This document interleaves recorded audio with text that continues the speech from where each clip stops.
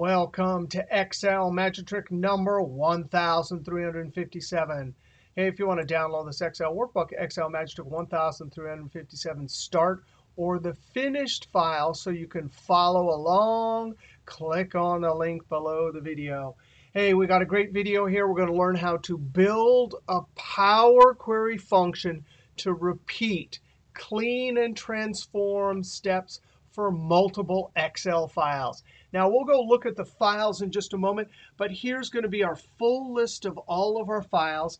And inside each one of those files is a cross-tabulated table. Now, look at this table. We have products here, but then at the top of each column, we have the fair name and the date. And then the inside are units sold. Not only that, but the sales rep name is going to be in the Sheet tab. So we need to take all of these files, and we will actually build a Power Query function that will clean and transform each one of these files and give us one proper data set. Now let's go look at our Excel files. We're going to go over to Windows Explorer when you download the files, there'll be a zipped folder called 1357 source files. You'll have to unzip it. Now, inside that folder is a start and four Excel files. If I double click and look inside the start, these are the four files we're going to start with.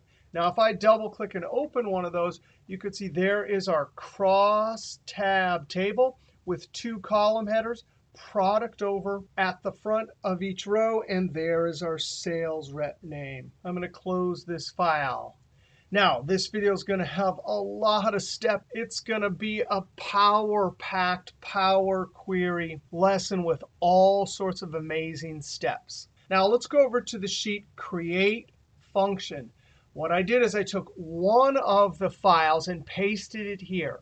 That way we can perform the steps to unpivot, including both criteria or conditions at the top of each column, unpivot it, create one proper data set, and then we'll copy that code and use it to create a function that can be used on all of the other Excel files. Now, in order to get this into Power Query, we're going to have to convert it to an Excel table. So with a single cell somewhere in this table, I go up to Insert Table, or I use the keyboard Control-T. I'm definitely unchecking my table has headers. Click OK. I'm going to need both of these items down inside the table to do my transformation. Now I want to name this table, so I go up to Design, and I'm going to name it. I called it something long. I called it Start Data to Build Power Query Function. All right, so I have a single cell in this proper Excel table. I'm using Excel 2016, so my Power Query is up in Data, Get and Transform. If you're in Excel 2010 or 13, you actually have to download it as a separate Power Query tab. Now, if we're going to take our data from an Excel table and bring it into Power Query, we have to use the From Table button. Or we can use the keyboard Alt-APT. Now, here's our Power Query Editor window. We have our name, and there are some steps. We do not need the change type, so I'm going to point in the Applied Steps pane to that red X and click to delete it. Now, here's our cross-tabulated table. Two conditions at the top and one condition at the head of the row. We need to unpivot this. But one of the steps is going to be to promote headers. And since we have two conditions or criteria here at the top of each column and one at the head of the row, we actually want to promote just the row header for product. So we first need to transpose this table, get the date and fair name into a single column, and the product name at the top of each column. So I come up to Transform, and there's the Transpose Table button. There we have our date and fair and the product at the top of each column. Now we need to promote the headers from the first row. So we come to the icon in the upper left-hand corner, use first row as headers, or I can simply use this button up in the Transform group. And there it is. The product is now the column header. Now we need to unpivot these so that products are in a single column. Now think about this. What this column means is each one of these units is for the Bellen product. So when I unpivot, it will create with these two conditions and that unit Bellen, these two conditions, that unit, and Bellen. So from this column right here, we'll get five records in the resulting unpivoted proper data set. Now I need to select date and product fair, so I hold shift, click on product fair. To unpivot, I go to transform, drop down and unpivot other columns, or right click unpivot other columns. And look at that. We have one, two, three, and four columns. Now we need to rename some of these. And I'm not going to change the data type because we'll actually change the data type in our next query. Date is a fine name. I'm going to double click product and fair and just call it fair and enter. Double click attribute. We're going to call this product and enter. Double click value and we'll call this units and enter. Now there are our steps.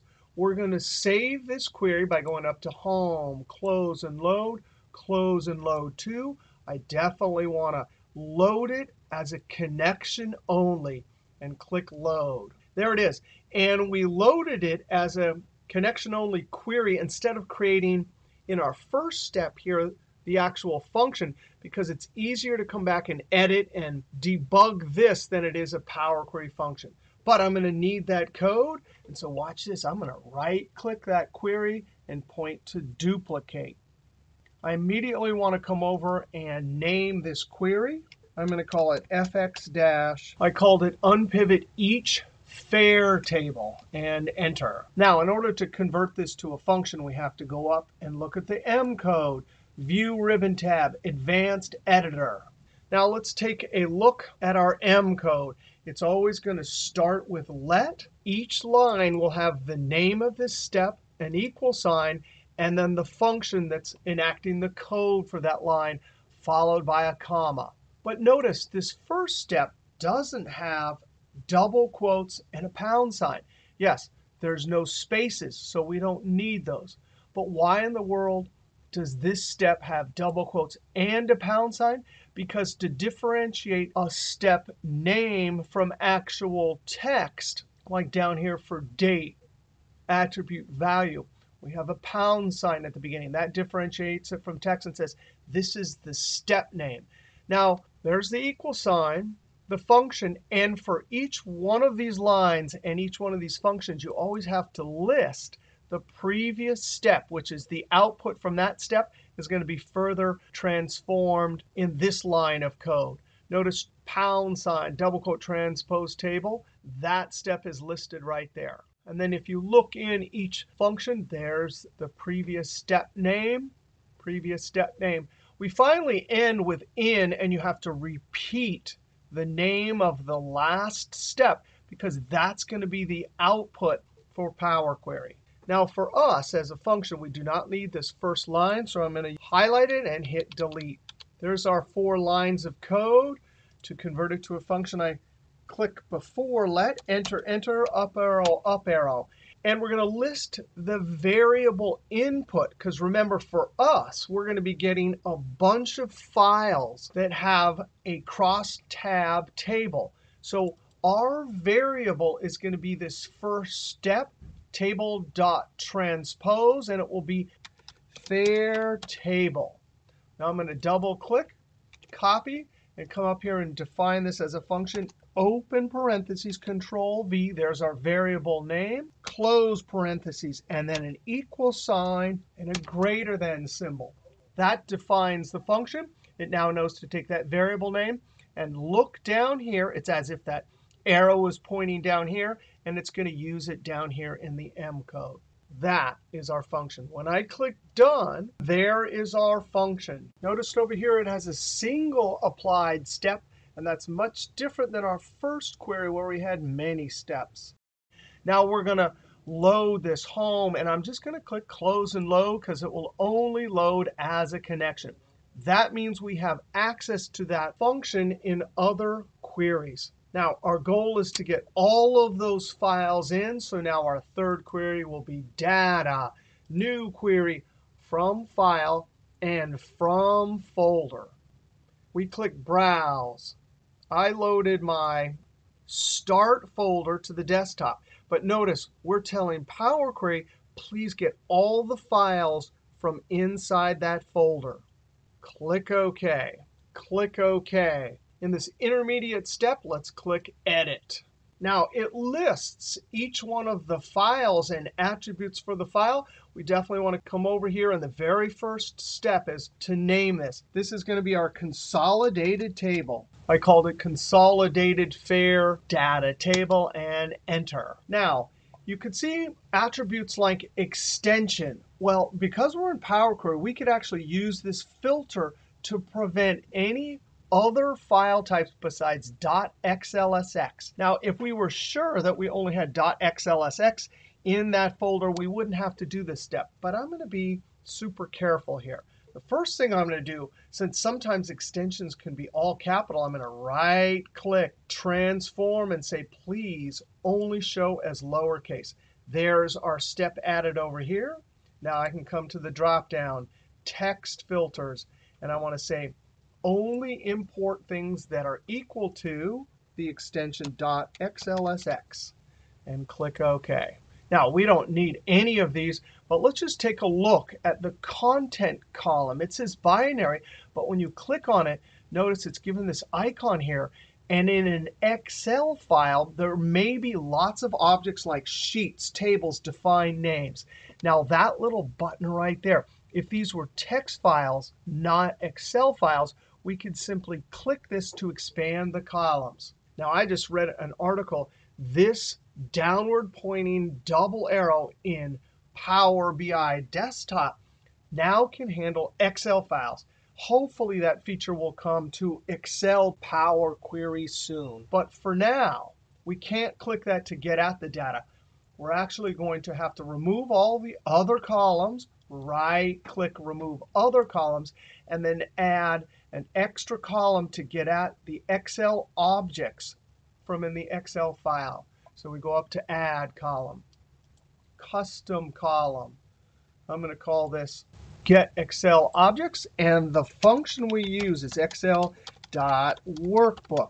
Now we have to be careful with Power Query functions. Spelling and case matter. So I'm very careful to have excel.workbook. And there's the content field. That's the name of this field over here that has each Excel file.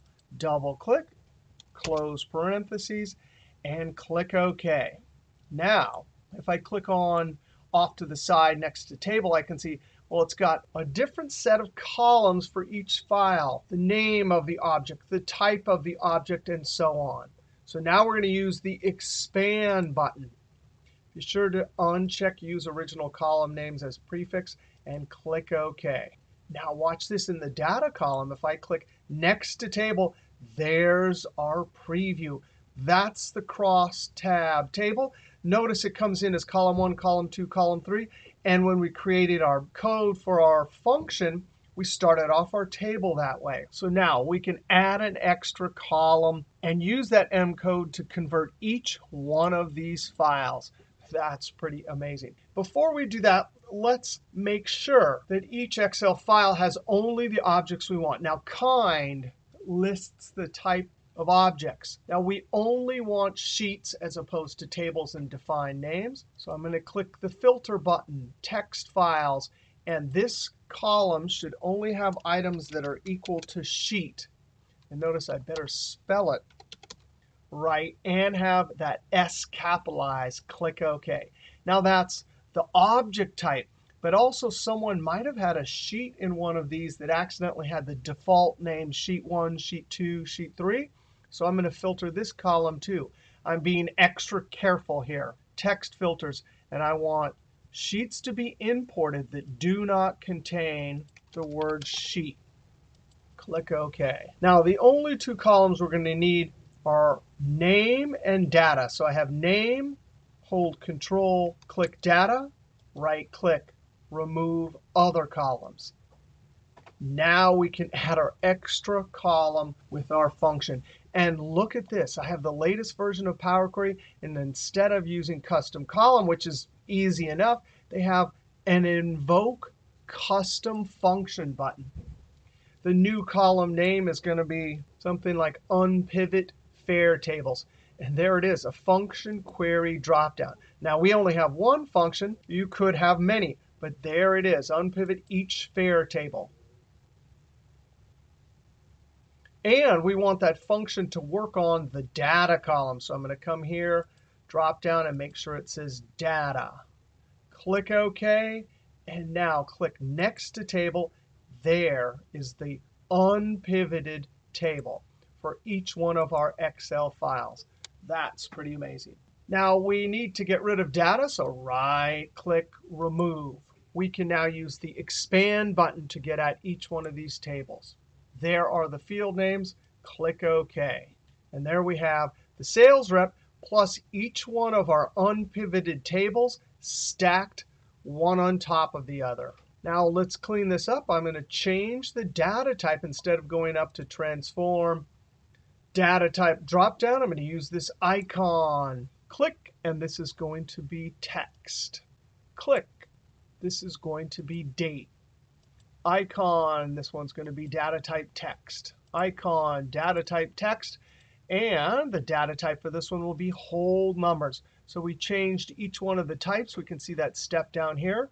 I'm going to make sure that each one of the names are what I want. I don't want name. I want sales rep and enter. Date, fair, product units, looking good. Now, we have used our function. We have our end result. So now we go to home, close and load, close and load to. And we have three choices. Now, we can dump it as a table into the Excel spreadsheet. I could also do only create a connection and actually access through the pivot table dialog box if I had a small data set. Sometimes that's convenient. I also could check add this to the data model, especially if I have big data. That is the way to go. I'm going to uncheck all. I'm dumping it as a table on a new worksheet. Click OK. Now I can see the query over here. 182 records have been loaded. And there is the data set, sales rep, date, fair, product, and units. Pretty amazing to take all of those cross-tab tables, one from each Excel file, and create one proper data set. I'm going to come down here and double click, something like fair data table and enter. Now we want to test our query because the reason we went through all of these steps is we have this query pointing towards a folder. So let's go over to Windows Explorer, and I'm going to select File Mo, hold Shift all the way to Tyrone, Control C, double click Start, Control V. Now there's the folder that Power Query is pointing to. There's eight files. So now when I come back over to Excel, right click, refresh, and look at that. Now there's 389 rows loaded from eight cross-tab tables, one in each Excel file. That is pretty amazing. Now in this video, we saw how to go from a bunch of Excel files, each as a cross-tab table, build a Power Query function, use it in a query, and create one updatable proper data set. All right, we'll see you next video.